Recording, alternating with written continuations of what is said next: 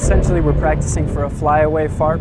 A FARP is essentially a forward arming and refueling point is what it stands for. And it allows for the aircraft to refuel and rearm whatever ammunition they may need out in a forward area without having to go all the way back to their home base. And this essentially ensures that the aircraft has as much time on target as possible to assist the infantry. For this particular exercise, the Air Force is providing, basically simulating a host nation coming out and helping us fill the fuel bladder to fuel the aircraft today. We try to do this kind of practice as often as possible back at our home bases. Out here, it's, it's a little more special because we get the chance to work uh, with the Air Force and kind of show them what we're able to do. And uh, to, to be able to do it in a real-time environment is, I think, really important to the training as well.